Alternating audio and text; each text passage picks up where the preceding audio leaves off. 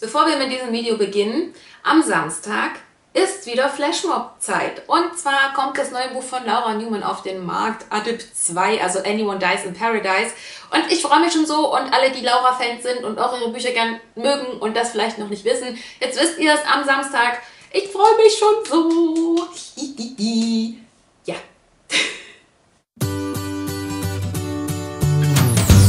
Hallo ihr Lieben, heute soll es wieder um die letzten drei Bücher gehen, die ich gelesen habe. Ich blende sie wie immer hier um mich drumherum nochmal mit ein, da könnt ihr dann nochmal mit draufklicken, wenn ihr möchtet. Und ja, ansonsten wünsche ich euch hier immer viel Spaß. Das erste Buch, was ich gelesen habe, war dieses hier, Harry Potter und der Stein der Weisen. Ich habe es endlich getan. Ich habe dieses Buch endlich gelesen. Es wurde aber auch verdammt nochmal Zeit. Ich habe diese Bücher alle noch nicht gelesen. Ich kenne zwar die Filme, aber mir wurde von allen Seiten gesagt, die Bücher sind so viel besser und da passiert so viel mehr und da ist viel mehr Hintergrundinfos und deswegen habe ich mir gedacht, okay, ich schließe dieses Jahr noch meine Bildungslücke und lese Harry Potter. Zum Inhalt brauche ich, glaube ich, absolut nichts mehr sagen. Ich glaube, jedes Kind kennt Harry Potter und weiß, worum es geht. Es geht um Harry, der an eine Zaubererschule geht, um dort halt das Zaubern zu lernen und dann gibt es dort noch einen bösen Gegner, der wieder aufersteht und den gilt es zu besiegen. Ich glaube, das, ne, ihr wisst.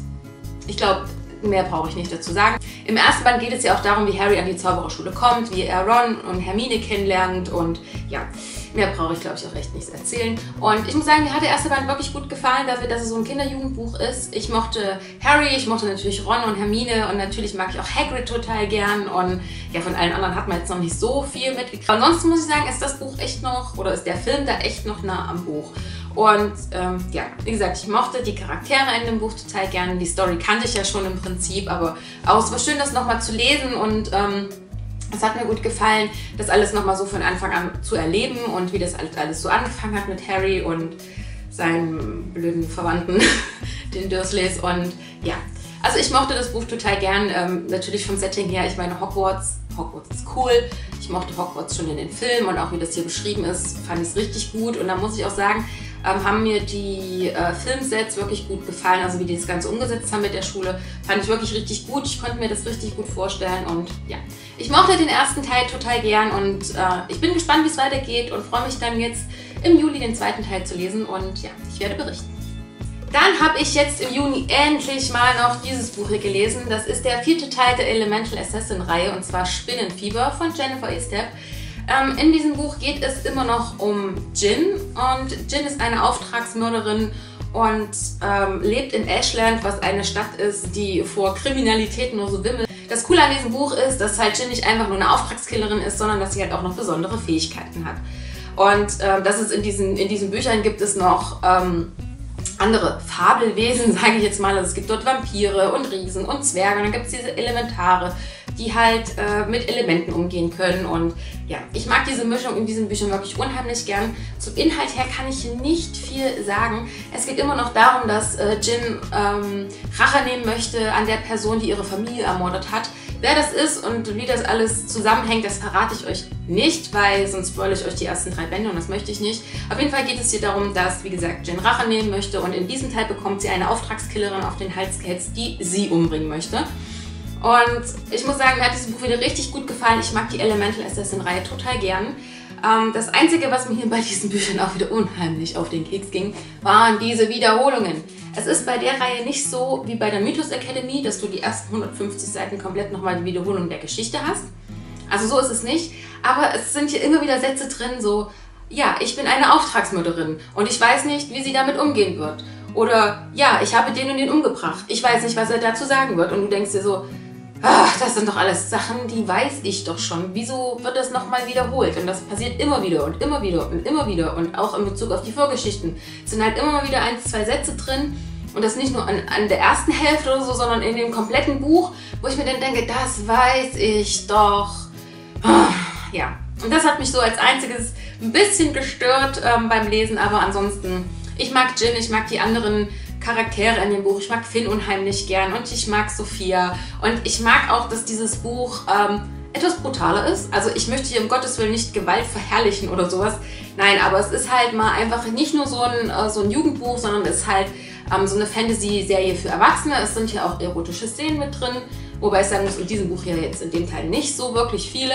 Und ähm, ja, ich mag es einfach total gern und Zum Setting her kann ich schon sagen, dass ich es wirklich richtig cool finde. Ashland ist ja wie gesagt so eine düstere Großstadt, äh, die aber an ein Gebirge grenzt und ja, die halt auch so schöne Vorstädtchen hat und dann gibt es North, North, Town und South Town, also Nord- und Südstadt und das eine sind die Reichen, das andere sind die Armen und ja, ich mag das Setting auch unheimlich gern. Und das Coole ist, dass in der neuen Reihe von Jennifer Eastham von Black Blade ähm, wird Ashland, glaube ich, erwähnt. Oder anders? Nee, nee, andersrum. Also doch, nee, wartet. Ich muss mich sortieren. In der neuen Reihe von Jennifer Eastham in Black Blade wird Ashland erwähnt. Das heißt, es ist das gleiche Universum quasi, wo das spielt. Würde ich jetzt einfach mal so sagen. Und das finde ich wirklich cool. Das hatte ich, äh, wo ich Black Blade gelesen habe, dachte ich so, hey, cool, das mag ich, sowas. Und ähm, ja, hat mir richtig gut gefallen. Ich mochte den, den Teil wieder total gern. Jetzt muss ich mir echt mal noch den fünften zulegen. Der sechste kommt ja jetzt auch demnächst raus und dann kommt noch der siebte. Also es ist wieder eine sehr vielteilige Reihe, aber ich mag es total gern und ich mag Jennifer Estep Schreibstil auch immer noch total gern. Obwohl ich sagen muss, dass mir bei ihren Büchern immer so dieses Zünglein an der Waage fehlt, dass ich sage, das ist ein grandioses, mega gutes Buch. Also das war bei Mythos schon so und das ist bei dieser Reihe auch wieder so. Sie gefällt mir richtig gut. Ich mag die Bücher total, ich mag die Charaktere, ich mag das Setting, ich mag alles. Aber es ist nie so ein Fünf-Sterne-Buch wie für mich wie Opposition oder so oder Origin, wo ich sage, boah, das Buch war so gut. So ist es leider nicht. Und ich weiß nicht, woran es Aber vielleicht kommt das ja irgendwann nochmal mit. Und ja, ich kann euch diese Reihe wirklich nur ans Herz legen, wenn ihr mal was ein bisschen Erwachseneres lesen wollt. Wie gesagt, mit etwas mehr Brutalität und halt erwachsenen Charakteren, weil die sind ja alle um die 30. Dann lest diese Bücher und ja, ich mag sie und I like it. Yay! Das letzte Buch, was ich euch heute zeigen möchte, ist dieses hier. Dare to Love von Carly Phillips. Einmal berührt ist fast gar nicht verführt, ist der zweite Teil dieser Dare to Love Reihe, wie sich das nennt. Und ich muss ehrlich sagen, ich habe den ersten Band nicht gelesen. Ich habe mir den hier beim Verlag angefordert und habe ihn netterweise zur Verfügung gestellt bekommen. Vielen Dank an dieser Stelle auch nochmal. Und ähm, ich muss sagen, ich war von diesen Büchern wirklich sehr überrascht. Ich bin über die Sina auf die Bücher gekommen, von dem Kanal von Wörtern gefesselt. Vielleicht kennt ihr sie, ich verlinke sie euch nochmal unten in der Infobox. Und ähm, sie fand die Bücher wirklich recht gut und dann dachte ich mir, oh ja, hm, so für zwischendurch mal so ein bisschen Liebesschnulzi, kannst du immer mal gut gebrauchen zwischen den ganzen Fantasy-Sachen. Und ja, haben mir das Buch angefragt, wie gesagt, habe es auch bekommen und ja, es ist nicht so ein unschuldiges Buch, so wie es aussieht vom Cover her. Nein. Also wer jetzt hier eine niedliche kleine Edit-Geschichte erwartet, ist hier komplett falsch. Das ist schon ein erotischer Liebesroman, definitiv würde ich sagen. Es ist aber noch so, ähm, dass es für mich so hart an der Grenze ist. Also bei Rock Kiss war es ja so, da haben die ja nur ihr wisst und es war fast keine Handlung da, die, die, aber wenn sie da aber wirklich gut war. Und hier ist es so, hier hält es für mich gerade so die Waage. Also hier ist schon sehr viel Erotik drin, aber es ist auch noch Handlung. Und ähm, mir hat der Schreibstil ganz gut gefallen und ich mochte die äh, Charaktere total gern. Ich möchte auf jeden Fall den ersten Teil noch lesen, den muss ich mir irgendwie mal nochmal mit kaufen, wenn ich mal wieder Bücher kaufen darf und kann und äh, ja, Zeit und Geld habe und so. Ähm, dann werde ich den auf jeden Fall nochmal mit kaufen und lesen, weil die Charaktere aus dem ersten Teil kommen hier auch wieder mit drin vor und man sieht, wie die sich weiterentwickeln und das äh, fand ich schon ein bisschen schade, dass mir da die Vorgeschichte zu denen gefehlt hat und deswegen muss ich das auf jeden Fall noch lesen. Ich habe jetzt auch den dritten Teil beim Verlag angefragt und habe ihn bekommen, was ich sehr, sehr cool finde. Ähm, da geht es dann wieder um ein anderes Pärchen. Das werde ich euch dann auf jeden Fall auch wieder mit vorstellen. Und ja, ich mochte die Geschichte total gern. In diesem Buch, okay, also in dieser ganzen Buchreihe geht es, äh, sag ich mal, um die Familie Dare. Deswegen Dare to Love. Und in diesem Teil geht es um Alex Dare. Alex war ein großer Footballspieler, er war berühmt, er war beliebt und jeder mochte ihn und die Frauen sind ihm scharenweise hinterhergerannt. Und er hatte eine Affäre mit Madison. Und eines Tages ähm, ist es so, dass seine Karriere von heute auf morgen komplett vorbei ist. Und er darüber so gefrustet ist, dass er natürlich auch seine Affäre beendet und niemanden mehr an sich ranlässt und von niemandem mehr etwas wissen möchte.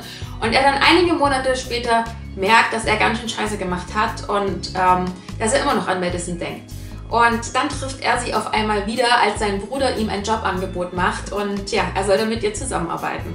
Ob das Ganze funktioniert und wie das mit den beiden weitergeht, das verrate ich euch natürlich nicht. Aber wie gesagt, ich fand die Geschichte wirklich cool. So für zwischendurch ist sie ideal.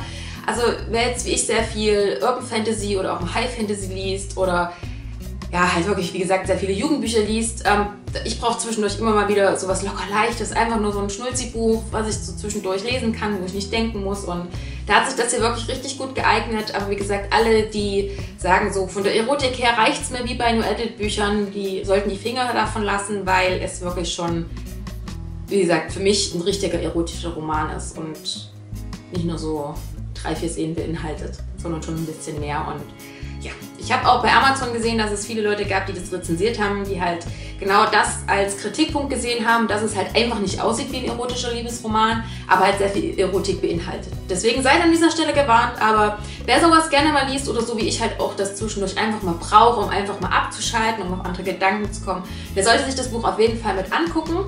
Ähm, ansonsten kann ich nur sagen, die Charaktere mochte ich total gern. Ich mochte Alex, ich mochte Madison und die ganzen Hintergründe, wie die dann geschildert wurden, so nach und nach kam das ja dann raus und man hat halt gemerkt, wie die sich auch entwickelt haben. Das hat mir auch gut gefallen. Ähm, vom Setting her, gut, da kann man nicht viel sagen. Wir befinden uns in Amerika, wir sind hier an verschiedenen Orten, zum Beispiel New York und Miami und Tahoe oder sowas. Also es geht hier ja, wie gesagt, um Football und ähm, ja, ich mochte das Setting auch. Also ist, man kann sich das leicht vorstellen, weil amerikanische Großstadt und so ein Footballstadion hat, glaube ich, auch jeder schon mal gesehen. Und ja, der Schreibstil, wie gesagt, er ist ein bisschen eigen. Man, ich brauchte am Anfang so die ersten 50 Seiten wirklich, um reinzukommen in die Geschichte, aber danach ging es. Also da bin ich auch wirklich richtig gut durchgekommen. Ich glaube, ich habe das auch an einem Tag gelesen, das Buch. Also ich habe da auch nicht wirklich lange für gebraucht und wie gesagt, es hat 299 Seiten. Und für zwischendurch kann ich es euch wirklich nur empfehlen. Ich mochte das total und ich freue mich jetzt dann den dritten Teil zu lesen. Ja, I like it! Damit wären wir dann auch schon wieder am Ende meines Videos. Falls ihr eins von den Büchern kennt oder anderer Meinung seid wie ich oder wie immer, ihr wisst Bescheid, schreibt es mir unten in die Kommentare. Ich freue mich auf jeden Fall drüber und ich bedanke mich an dieser Stelle natürlich auch immer fürs Gucken und wünsche euch noch eine schöne Woche. Bis zum nächsten Mal. Macht's gut. Tschüss.